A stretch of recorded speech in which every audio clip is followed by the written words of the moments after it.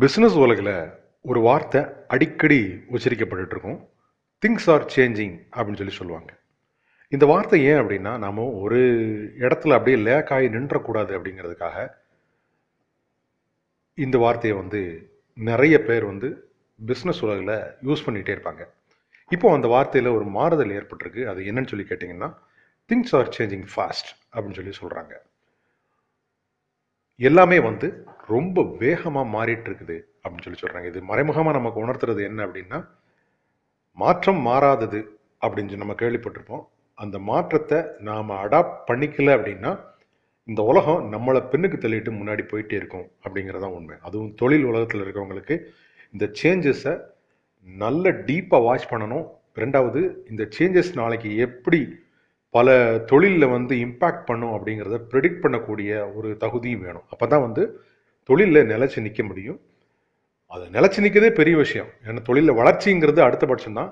தொழிலில் நிற்கிறதுக்கு வந்து நாம் இன்னைக்கு பல விஷயங்கள் எப்படி மாறிட்டுருக்கு அப்படிங்கிறத புரிஞ்சுக்கிட்டு அது நம்மளோட தொழிலில் எந்த அளவுக்கு இம்பேக்ட் பண்ணும் அது எந்த அளவுக்கு ரோல் ப்ளே பண்ணும் அப்படிங்கிறத புரிஞ்சுக்கிட்டோம் அப்படின்னா நாம் அட்லீஸ்ட் எல்லாரோடையும் சேர்ந்தாவது ஓடலாம். எல்லாரும் நம்மளை விட்டுட்டு ஓடுறதுக்கு பதிலாக நம்ம அவங்களோட சேர்ந்து ஓடுறதுக்காக ஒரு வாய்ப்பு இருக்குது. நான் ஏன் இவ்வளோ பெரிய உதாரணமாக இதை சொல்லிட்டு இருக்கேன் அப்படின்னா அந்த மாதிரி நாளைக்கு ஒரு தொழிலை அப்படியே புரட்டி போடுற அளவுக்கு ஒரு விஷயம் நடக்க போகுது. அது என்ன தொழில் அப்படின்னா காட்சி ஊடகம் அப்படின்னு சிம்பிளாக சொல்லிடலாம். காட்சி ஊடகத்தில் எல்லாமே இருக்குது அதில் ஒரு பெரிய புரட்சி பண்ண போகிறதான் நீங்கள் இப்போ பார்த்துட்டு இருக்கிற இந்த விஆர் அப்படின்னு சொல்லி சொல்லுவாங்க. அதாவது விர்ச்சுவல் ரியாலிட்டி டெக்னாலஜி அப்படிங்கிறது தான் இதனோட ஃபுல் ஃபார்ம் இது என்ன ப்ளே பண்ண போகுது? இது எதை மாற்ற போகுது அப்படின்னு சொல்லி கேட்டிங்கன்னா நீங்கள் டெஃபினட்டாக கற்பனை பண்ணி பார்க்க முடியாத அளவுக்கு இது மிகப்பெரிய மாற்றத்தை கொண்டு வரப்போகுது சமீபத்தில் பிபிசி யூடியூப் சேனலில் இதை பற்றி ஒரு வீடியோ போட்டிருந்தாங்க. பெங்களூரில் ஒரு ஸ்டார்ட் அப் கம்பெனி முத முதல்ல இந்த டிவைஸை பெங்களூரில் உள்ள பீப்புளுக்கு வந்து சேல் பண்ணியிருக்காங்க அதாவது ஃப்ரீயாக கொடுத்துருக்காங்க. டிவைஸ் வந்து ஃப்ரீ ஆனால் மாதம் தொண்ணூத்தொம்பது ரூபா வாடகை கட்டிடணும் அதுக்கு.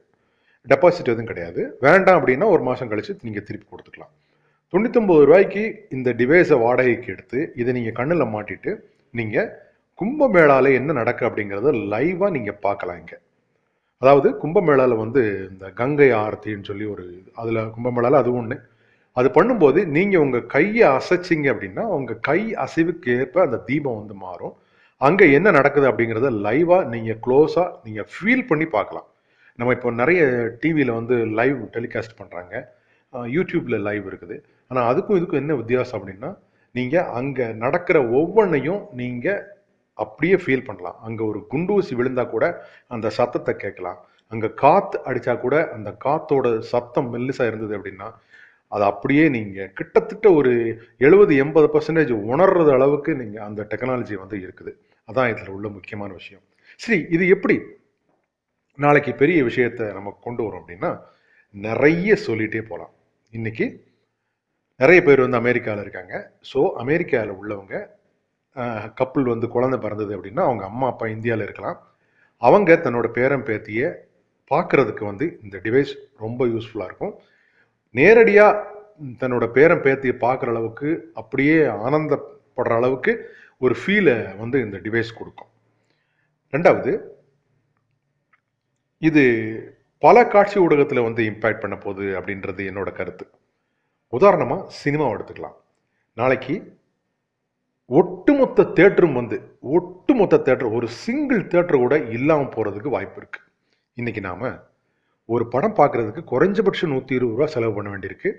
டிக்கெட்டுக்கு மட்டும். ஆனால் இந்த டிவைஸு இப்போமே வந்து தொண்ணூத்தொம்பது ரூபாய்க்கு மாதத்துக்கு ஒரு மாதத்துக்கு தொண்ணூத்தொம்பது ரூபாய்க்கு கிடைக்குது. ஸோ இந்த டிவைஸை வாங்கிட்டோம் அப்படின்னா பல கம்பெனிகள் வந்து இந்த மாதிரியான டிவைஸ் மேனுஃபேக்சர் பண்ணுற பீப்புளோட டையை போட்டாங்க அப்படிங்கிற பட்சத்தில் சாதாரணமாக நாம் ஒரு மாதத்துக்கே வந்து எத்தனை சினிமானாலும் டைரெக்டாக இதிலே பார்த்துக்கலாம் நம்ம மார்னிங் ஷோ போ போக வேண்டியதில்லை ஆன்லைனில் புக் பண்ண வேண்டியதில்லை இன்டர்நெட்டில் புக் பண்ணுறதுக்கு முப்பது ரூபா தண்ட செலவு கொடுக்க வேண்டியதில்லை பார்க்கிங் கட்டணம் வேண்டாம் எதுவுமே வேண்டாம் இதை எடுத்து அப்படியே முகத்தில் மாட்டினா போதும் படம் வர ஆரம்பிச்சிடும் கரெக்ட் டயத்துக்கு மாட்டினீங்கன்னா ஓகே. இது இந்த டெக்னாலஜி மட்டும் வந்தது அப்படின்னா தேட்டர்கள் மட்டுமில்லை இந்த ஆன்லைன் ஊடகங்கள் அப்படின்னு சொல்லி சொல்லுவாங்க. இந்த அமேசான் ப்ரைமு அந்த மாதிரியான நெட்ஃப்ளிக்ஸு அதுவும் கூட நிறைய பாதிக்கப்படும் அப்படின்னு நான் நினைக்கிறேன். இது டைரெக்டாக நீங்கள் ஒரே நாளில் அதாவது இப்போ ஒரு புதுசாக ஒரு படம் வருது. அந்த படத்தை வந்து எவ்வளவு பேர்னாலும் ஒரே நாளில் பார்த்து முடிச்சிடும் அன்றைக்கி வந்து வெள்ளிக்கிழமை சினிமா ரிலீஸ் பண்ணுறாங்க சனி ஞாயிறு கலெக்ஷன்லாம் நடக்குது. அதுக்கப்புறம் அந்த மூணு நாள் கலெக்ஷன் தான் வந்து அந்த படத்தை எப்படி ஓடுதா இல்லையாங்கிறது தீர்மானிக்குது. ஒரே நாள் ஒரே நேரம் வெள்ளிக்கிழமையோ சனிக்கிழமையோ போ காலையில் எத்தனை மணிக்குனாலும் சரி நாலு மணி மூணு மணி எப்போ நமக்கு விருப்பமோ அப்போ இதை ப்ளே பண்ண ஆரம்பிச்சிட்டாங்கன்னா நம்ம அப்படியே மாட்டி ஃபுல் படத்தையும் பார்த்துக்கலாம். பிரச்சனையே கிடையாது. காசும் ரொம்ப ரொம்ப குறைவாக இருக்கிறதுக்கு வாய்ப்பு இருக்குது ஏன்னா தேட்டர் அப்படிங்கும்போது அவங்க ஏகப்பட்ட மெயின்டெனன்ஸ் செலவு இருக்குது.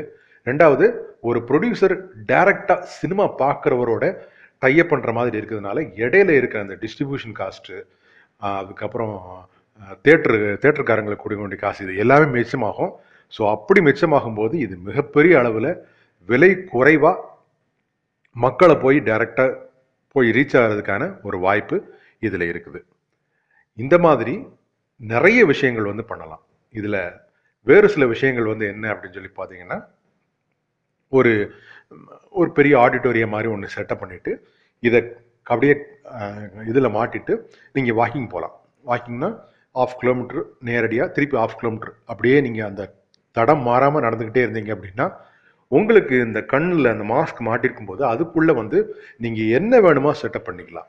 அதாவது நீங்கள் இமயமலையில் நடக்கிற மாதிரி வாக்கிங் போகிற மாதிரி போகலாம் நிலாவில் வாக்கிங் போகிற மாதிரி போகலாம் இல்லை ஒரு அமேசான் காட்டுக்குள்ளே வாக்கிங் போகிற மாதிரி போகலாம் இல்லை ஹெவி டிராஃபிக் உள்ள லண்டனில் ஹெவி டிராஃபிக்கில் நீங்கள் வாக்கிங் போகிற மாதிரி போகலாம் ஒரு நாளைக்கு பாரிஸில் போகலாம் ஒரு நாளைக்கு நியூயார்க்கில் போகலாம் இந்த மாதிரி செட்டப் மட்டும் நீங்கள் அந்த ஸ்க்ரீன் மட்டும் மாற்றினா சரி ஆனால் நீங்கள் இருக்கிறது ஒரே ஆடிட்டோரியம் அதில் வந்து நீங்கள் வாக்கிங் என்ஜாய் பண்ணலாம். நான் இன்னொரு வீடியோவும் பார்த்தேன். அது என்ன அப்படின்னா அதுவும் பிபிசியில் தான். அவங்க வந்து ஜீரோ கிராவிட்டி அதாவது ஒரு ஆடிட்டோரியத்தில் ஜீரோ கிராவிட்டியை கொண்டு வந்து இதை நிலாவில் நீங்கள் நடக்கிற மாதிரியான ஒரு ஃபீல் கொடுக்குறோம் அப்படிங்கிற மாதிரி அவங்க பண்ணியிருந்தாங்க. அதுக்கு வந்து ஜீரோ கிராவிட்டிங்கும் போது நமக்கு வந்து அந்த இடுப்பில் பெல்ட்லாம் மாட்டுவாங்க. அதெல்லாம் மாட்டி அதை எக்ஸ்பீரியன்ஸ் அந்த எக்ஸ்பீரியன்ஸை கொடுத்தாங்க. இது வந்து மிகப்பெரிய அளவில் மனிதனோட உணர்வுகளில் மாற்றத்தை ஏற்படுத்தும். எப்போவுமே சொல்லுவாங்க நீங்கள் ஒருத்தரை எப்படி ஃபீல் பண்ண வைக்கிறீங்க? அப்படிங்கிறத பொறுத்து தான் வந்து ஒரு மார்க்கெட்டிங்கில் நீங்கள் ஜெயிக்க முடியும். ஒரு பொருளோட இல்லை ஒரு சேவையோட வளர்ச்சி இருக்குது அப்படின்னு சொல்லி சொல்லுவாங்க. நம்ம வந்து இன்றைக்கும் அதை நம்ம உதாரணமாக பார்க்கலாம். நம்ம வந்து ஒரு ரெண்டாயிரம் ரூபா மூவாயிரம் ரூபாய்க்கு ஒரு கொரியன் செட்டு ஃபோன் ஃபோன் வாங்கியிருப்போம். ஆனால் கொஞ்சம் விலை அதிகமானாலும் ஒரு ஐஃபோன் வந்து இல்லை ஒரு சாம்சங் வந்து நம்மளை எப்படி ஃபீல் பண்ண வைக்குது? ஸோ அதனால தான் அதுதான் வந்து ஜெயிக்குது. விலை குறைவு அப்படிங்கிறதுக்காக வேண்டி சைனா செட்லாம் வந்து நிறைய விற்குதா என்ன? அப்படி கிடையாது. ஸோ நீங்கள் எப்படி மக்களை ஃபீல் பண்ண வைக்கிறீங்க அப்படிங்கிறத பொறுத்து தான் ஒரு பிஸ்னஸில் சக்ஸஸ் இருக்குது அப்படின்னு சொல்லி சொல்லுவாங்க. அந்த சக்ஸஸ் தான் வந்து இந்த டெக்னாலஜி விஆர் டெக்னாலஜி நான் சொன்னது சில உதாரணங்கள் தான். இது நாளைக்கு எப்படி வேணாலும் மாறலாம். இது யார் யாராவது ஒருத்தர் வந்து நாம் இது வரைக்கும் நினச்சி பார்க்காத ஒரு விஷயத்தை இதில் புகுத்தலாம்.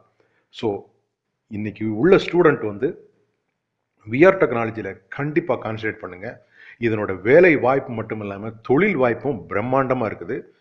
இது ஒரு காலத்தில் நமக்கு ஃபேஸ்புக்னா என்னென்னே தெரியாது. கம்ப்யூட்டர்னா கூட என்னன்னு தெரியாது. ஆனால் அது மிகப்பெரிய அளவில் இன்றைக்கி வியாபிச்சிருக்குது. கையடக்க கம்ப்யூட்டர்ல இருந்து எல்லாமே வந்துருச்சு. விரல் நுனியில் நாம் இன்னைக்கு எல்லாமே செய்கிறோம் அந்த மாதிரி ஒரு மிகப்பெரிய தொழில் புரட்சியை இந்த விஆர் டெக்னாலஜி டெஃபினட்டாக கூடிய சீக்கிரம் உண்டு பண்ண போகுது. ஒரு காலத்தில் தந்தி சொல்லுவாங்க தந்தி அடிப்பாங்க. யாராச்சும் இறந்து போயிட்டாலோ ஏதாவது ஒரு விஷயத்தை குயிக்காக பாஸ் பண்ணணும் அப்படின்னா தந்தி அடிப்பாங்க.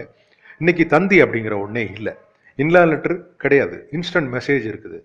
அந்த மாதிரியான பல விஷயங்கள் வந்து தேவையில்லாமலே அழிஞ்சு போயிடுச்சு. அந்த மாதிரி இன்னைக்கு இருக்கக்கூடிய பல விஷயங்கள் அழிஞ்சு போகக்கூடிய அளவுக்கு ஒரு மிகப்பெரிய மாற்றத்தை இந்த விஆர் டெக்னாலஜி கொண்டு வரும் அப்படிங்கிறது என்னோட நம்பிக்கை. ஸோ புதுசாக வரக்கூடிய ஸ்டூடெண்ட்டு ப்ராஜெக்ட்லேயோ இல்லை ஏற்கனவே படித்து முடிச்சுட்டு வெளியே வந்து ஒர்க் பண்ணிட்டு இருக்கிறவங்க இந்த விஆர் டெக்னாலஜியில் கான்சன்ட்ரேட் பண்ணீங்க அப்படின்னா இதில் உள்ள வேலைவாய்ப்பும் அதிகமாக இருக்குது.